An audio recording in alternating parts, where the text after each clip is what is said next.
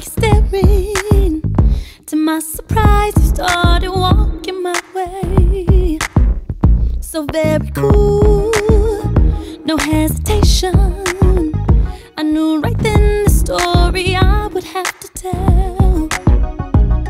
I'm afraid to love again, cause of what I've been through. But your patience, boy, and perfect touch got me focused on you and the possibilities you here with me. I was broken, yes, that's true. But now I'm rocking to new. Got you here with me. I'm ready to see where this will lead. Just take my hand.